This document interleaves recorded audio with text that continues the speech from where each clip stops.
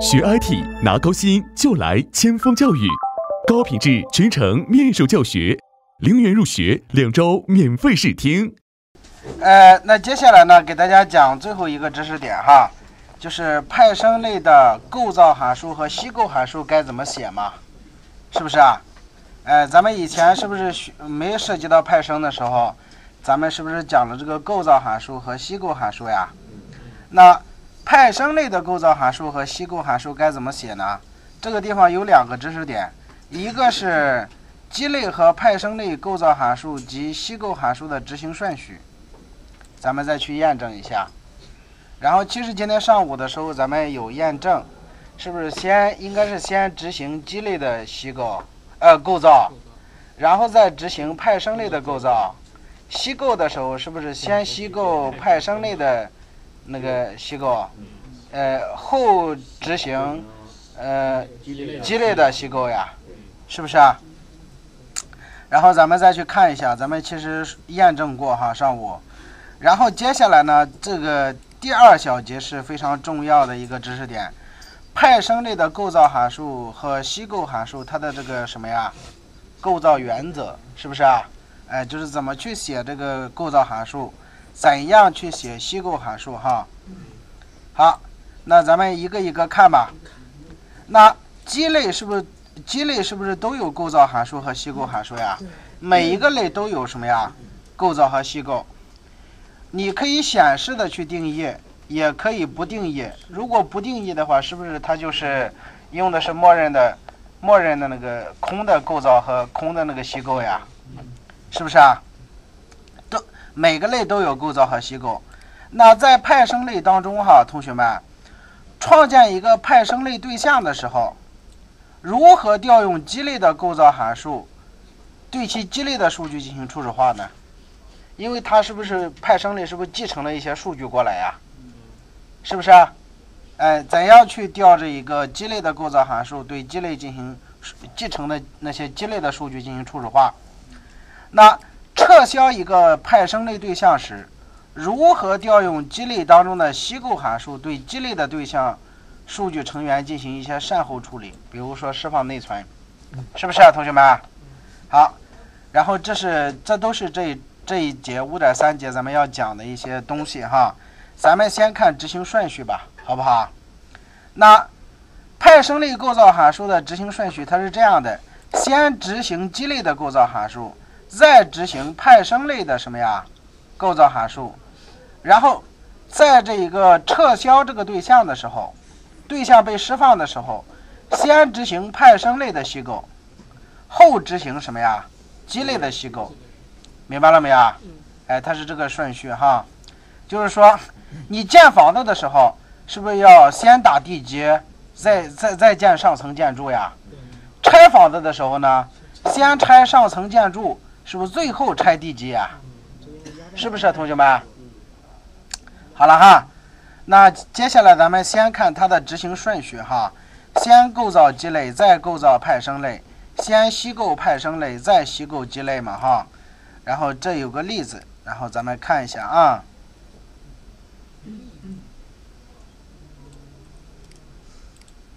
这个例子其实今天上午咱们演示过。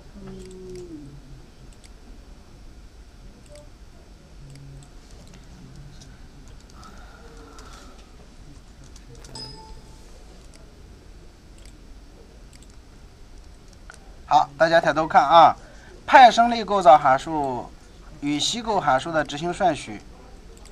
然后呢，大家抬头看，这是不是一个基类？哎，我那些数据成员和成员函数我都不写了，我只写一个什么？一个构造函数，基类的构造函数是不是输出一句话？construction 是不是建造这个基类的这个这这个这个执行这个基类的这个构造呀？然后这是这个基类的析构吧，destruction base class。然后这个用法西刚其实不太什么呀，不太不太不太规范是吧？在 C 加加当中，咱们更多的是用的什么呀？是不是用的什么呀？N 道呀，是吧？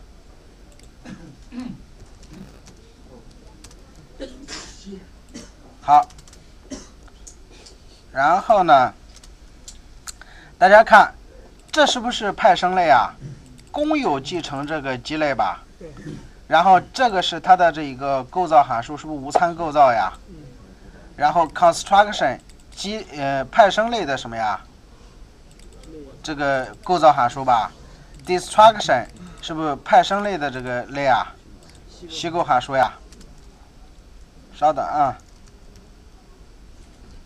然后呢？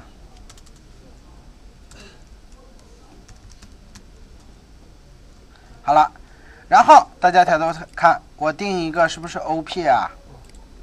是不是同学们？算了，我在这 cout 输出一个输出一个东西吧，输出一个横线吧。n 到，然后我在这儿 cout 输出一个什么呀？新花。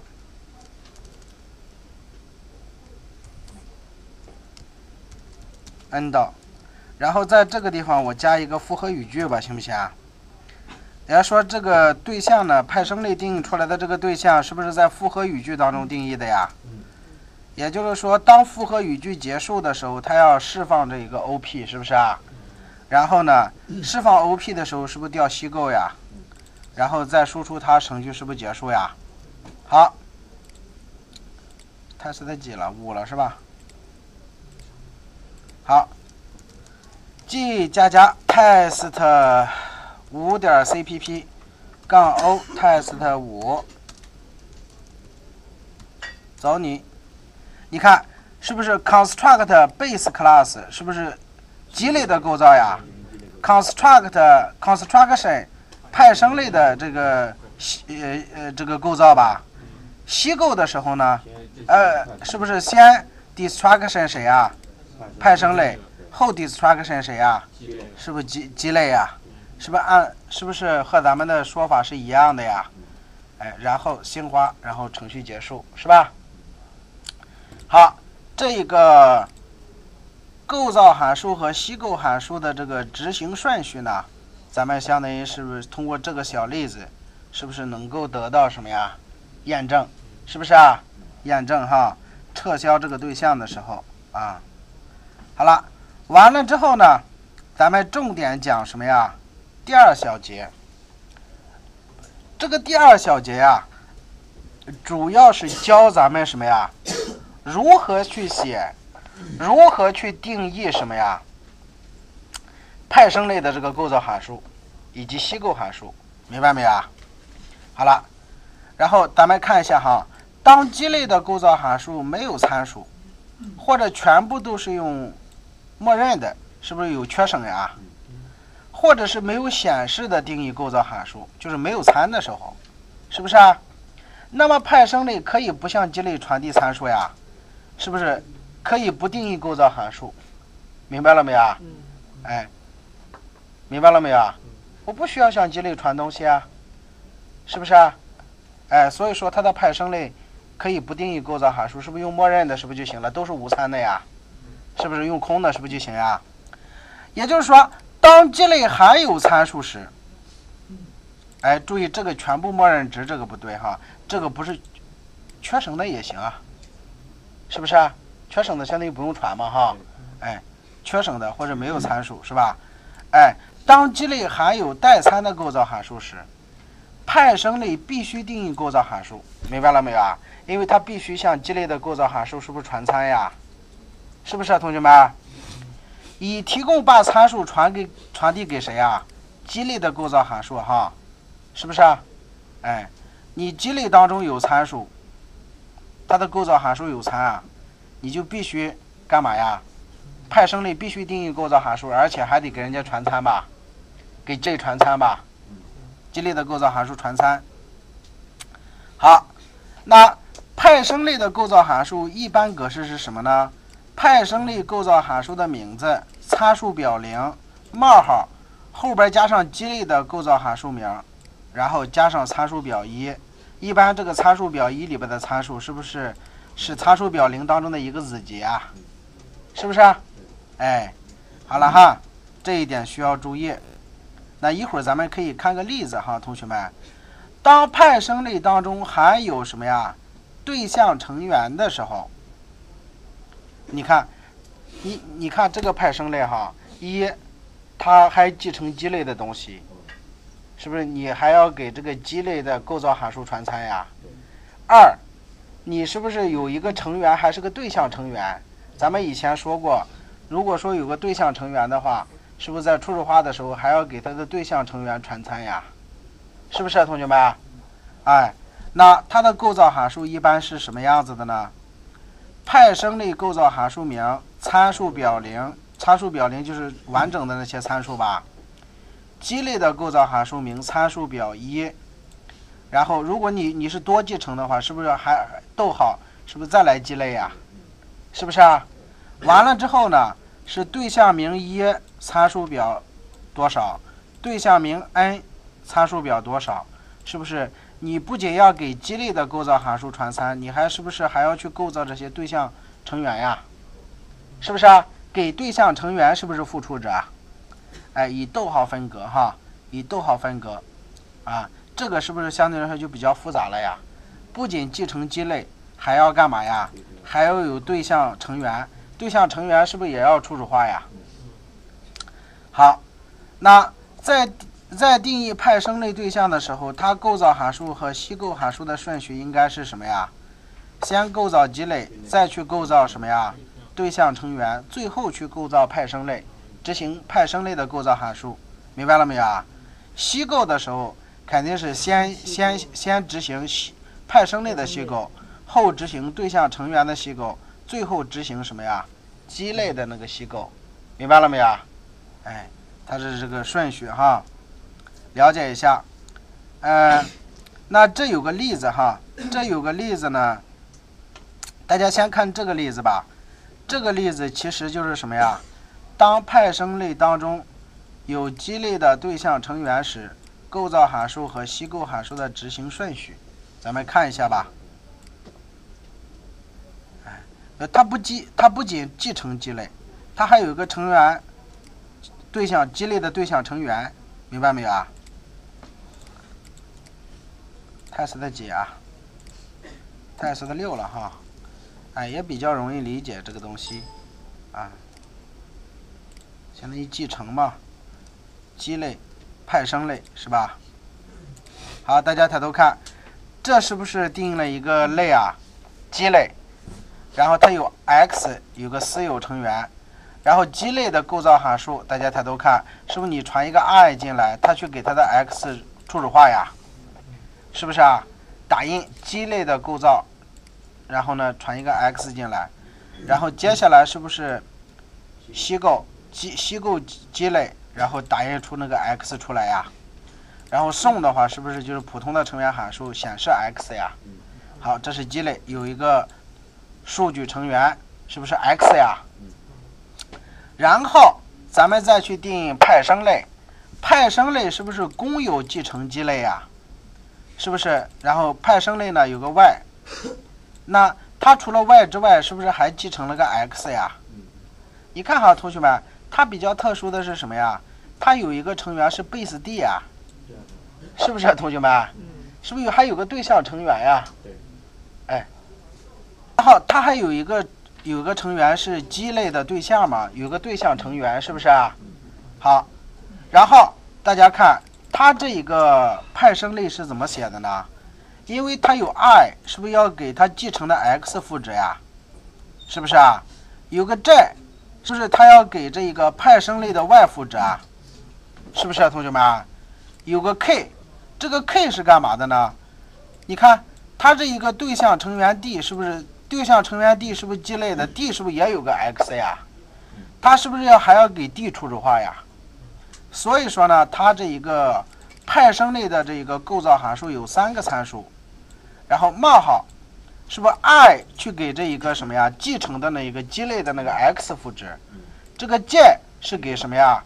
对象成员初始化呀，明白了没有？i j k，然后注意 k 呢是不是给它自己新定义的 y 赋值呀？构造派生类 y 等于多少？是不是打印出来？然后这是析构函数。是不是虚构这个派生类，然后打印 y 啊？然后在这个里边儿，他干了个什么呢？是不是用派生类定一个 obj 对象，然后传 x，呃，传一二三进去啊？这个一给它继承的 x 赋值吧，二是不是给谁赋值呀？给那个对象成员初始化的吧？是不是啊？给基类对象的那个成员初始化，是吧？这是基类基类的这个对象，然后作为它的一个成员嘛，对象成员初始化。k 三是不是给谁赋值呀？给它自己定义的 y 初始化呀。好，然后完了之后呢？那你想，你定义对象的时候，是不是要执行这一个构造函数呀？是不是派生类的构造函数啊？注意，咱们说派生类的构造函数是最后执行的嘛？是不是先去执行基类的构造函数啊？然后再去执行那个对象成员，是不是初始化的时候，这个对象的那个构造函数呀？好了哈。应该先执行什么呀？i 的话是不是先执行一啊？是不是同学们？然后再执行这个的话，是不是应该是几啊？j 是二吧？然后最后是不是应该是三？是不是 y y 这一个执行这一个呀？是不是啊？打印 y 啊？虚构的时候是不是按咱们刚才的说法？是不是先虚构派生类？是不是再虚呃？是不是应该先先先？派生类的话，虚构的话，应该打印 y 的话，是不是三呀？再去再去执行什么呀？对象成员，对象成员的那一个 x 是多少呀？是不是第二个参数是二呀？最后是不是基类？呃，最后是最后是虚构基类的，是不是应该是它那个 x 是一呀？所以说构造的时候是一二三，虚构的时候是什么呀？三二一呀？哎。注意，obj 的送是不是打？obj 的送是不是？obj 的送是继承的，是不是啊，同学们？好，这个咱们先不打印也行哈，无所谓。好了哈，咱们就定一个对象，然后看它的执行顺序。嗯，应该是看一下哈，六格式已经转了哈。g 加加 test 六点 cpp 杠 o test 几啊？六。test 六，走你。是不是先构造的基类？是不是 x 等于一啊？然后这个构造积累 x 等于二是谁啊？是不是那个对象成员呀？是不是同学们？是不是这个地方 x 等于二构造的是什么呀？构造的是不是这个给 d 初始化呀？是不是啊？嗯，积累对象嘛，哈，然后呢，又去构造的谁呀？是不是派生类？是不是先是积累，然后是对象成员嘛？然后接下来是不是那个派生类啊？虚构的时候，你看是不是三？先虚构的派生类，然后后虚构的这个什么呀？对象成员 x 等于二嘛？那个对象嘛，哈，是不是啊？这个 d 这个对象嘛，是不是二呀？皆是二嘛，哈。然后最后虚构的是什么呀？积累，是不是啊？所以说，通过这个例子哈，同学们，呃，咱们能够验证这个积累、派生类以及这个派生类当中的这个对象成员它构造的顺序，是不是啊？以及虚构的顺序。另外一个，咱们是不是还需要学会什么呀？派生类这个构造函数该怎么去定义啊？是不是，同学们？该怎么去定义哈？哎，大家想，如果说我这个派生类这个构造函数哈，派生类的构造函数该怎么去定义嘛？这个是不是定义在函数里边了呀？我如果拿出来的话，怎么拿出来？是不是只需要拿出来，在最前面加一个什么呀？加一个多用域运算符，是不是就行了呀？哎，在这里边是不是就不用定义了呀？而是什么了？声明。哎，咱们说过声明的时候需不需要加这个东西啦？是不需要呀。好，试一下啊，加上是不是会报错呀？哎，是不是可以啊？所以说呢，同学们，咱们这一个什么呀？哎，我执行一下看有没有问题哈。是不是也没问题啊？一二三三二一嘛哈。所以说，派生类的什么呀，同学们？派生类的构造函数的声明以及其定义，你会了吧？这种方法是不是用的是最多的呀？因为将来咱们还要分文件嘛，是不是？哎，好了哈。所以说呢，将来你就按照这种格式去定义这个派生类 就可以了，明白没有啊？派生类的构造函数就行。好，主要是这一个派生类的构造函数该怎么写嘛，哈。好，这是它的那一个执行顺序啊，构造和析构的执行顺序。如果派生类的基类也是一个派生类，哇塞，那是不是有了二代？是不是啊？有了三代了呀？派生了两次嘛？是这意思吧，同学们？则每个派生类只需要负责其直接基类的构造就行了，一次追溯，明白没有啊？什么意思呢？哎，也就是说，比如说你爷爷生了你爹，你爹生了你啊，是不是啊？你只是一构造的时候，你要写你的那个构造的时候，你只需要给你爹传餐，赡养你爹就行，你爷爷不用你管。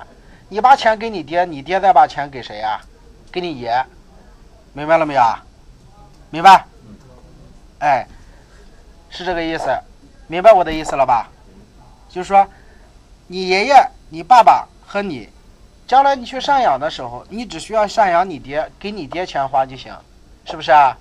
那，你你你你你你爹呢？你爸爸呢？只需要他再去赡养他他爹就行了，是不是啊？是这意思哈？清楚啊？就是这个意思。好了啊，然后呢，咱们就看一个派生连续派生两次的好不好？是不是啊？哎。然后这个例子哈，哎，其实这一个也容易理解，是吧？你派生两次之后，这个这个该怎么写哈？连续派生两次的这个例子，有没有这种情况出现呀？是有的嘛？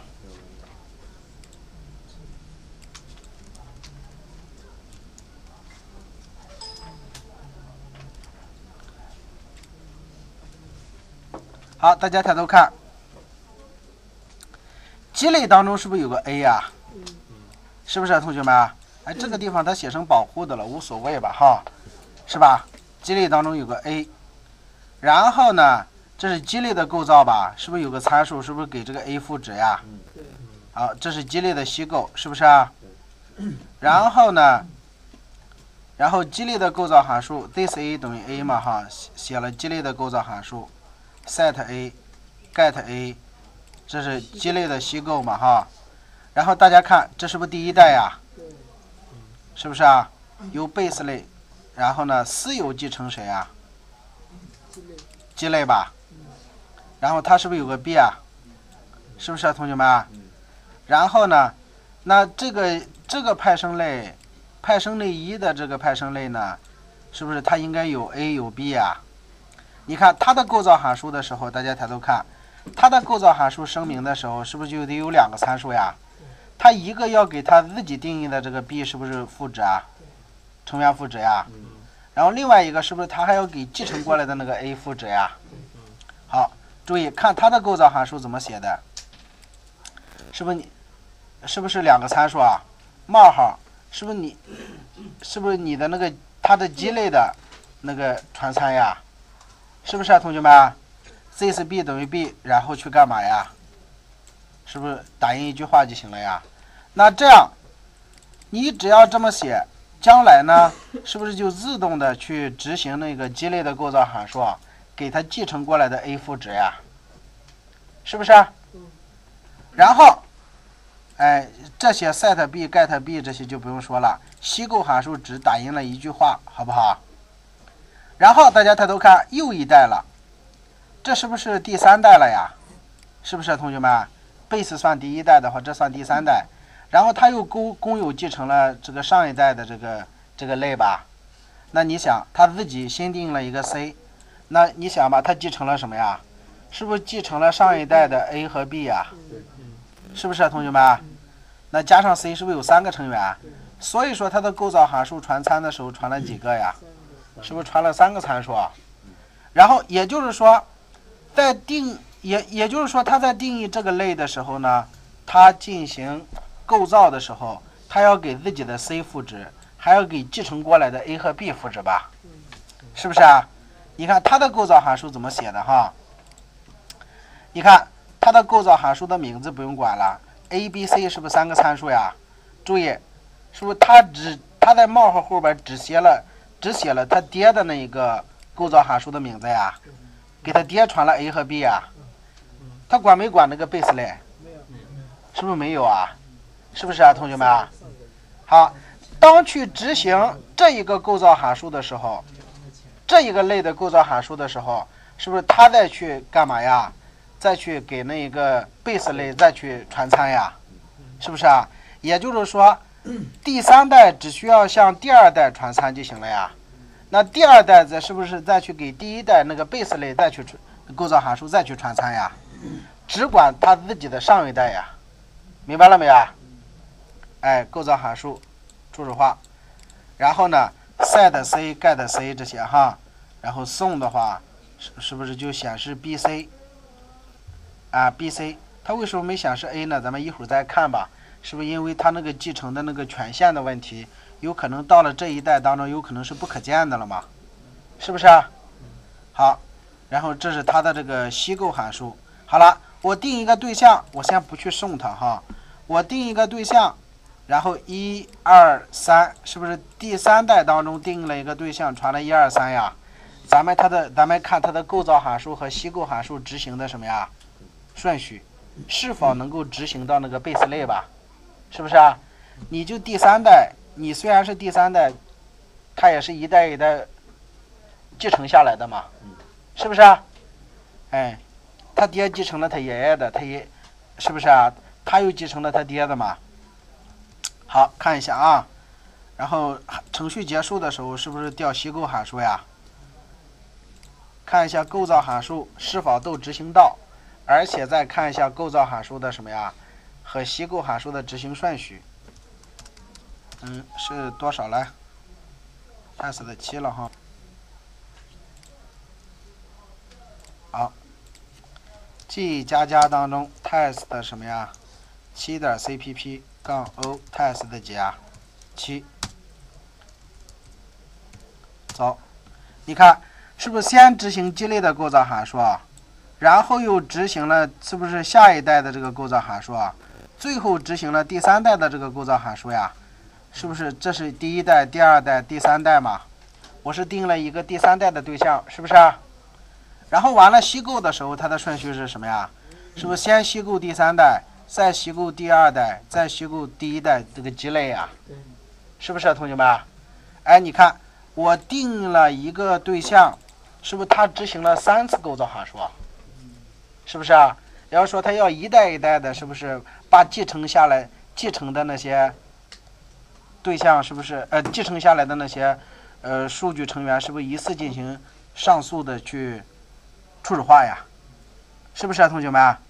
哎，然后说每一代，然后定义构造函数的时候，只需要管它的上一代传参，是不是就行呀？base 类它就不用管了，因为 base 类是谁管呀？是不是这一代再去管 base 传参呀？是不是同学们？哎，所以说这是构造哈。哎，这个构造函数的，注意这一个构造函数是必须要什么呀？像这一个构造函数，就是因为这个 deriv 一这一代呢，它的它的构造函数有参，所以说你就 deriv 二这一代的时候，是不是就必须传参呀？必须给它的这个父类传参，是不是啊？哎，必须给它的父类传参哈，去调用父类的什么呀？这个构造函数，是不是啊？哎，好，那这一点咱们需要注意。注意，由于虚构函数是不带参数的，明白没有啊？在派生类当中，是否需要定义虚构函数，和它所属的基类是不是无关呀？哎，就是在虚构的时候呢，其实和它的积累无关，因为它的积累是不是有它积累的虚构呀？是不是，同学们？哎，每一个类只每一个类在虚构的时候只释放它在这个类当中溜出来的空间嘛，哈。所以说呢，故基类的析构函数不会因为什么呀，派生类没有定义析构函数而得不到执行，它们各自是独立的。要说我第三代不定义析构，上上两代是不是它的析构函数依然是可以什么呀？依然是可以执行的呀？明白？哎，所以说呢，咱们在定义的时候只需要关心什么呀？关心构造函数该怎么写就行了，明白没有？直接负责它，它这一类这一代的父类的什么呀？构造函数传参是不是就行呀？好，了解一下哈。那这是什么呀？这是这一个咱们讲的这个构造函数、析构函数，就派生类的构造函数和析构函数的原则嘛哈。规则就是说我这个派生类的构造函数该怎么写呀？是不是啊？哎，我我我要我要干嘛呀？如果说代参父类代参的话，我的那个构造函数必须要写，必须像父类的什么呀？构造函数是不是传参呀？是不是啊？哎，只负责它那一个直接的那个上一代的那个构造函数传参是不是就行了呀？析构函数不需要关心，因为。每一个每一个类的什么呀，那个那个析构函数都是独立的，是不是啊？都是不带参数的嘛，都会执行，是吧？好，嗯，这一节课呢，咱们就把派生类的构造函数和析构函数的那个构造规则，就是怎么去定义这个构造函数，然后给大家讲了哈。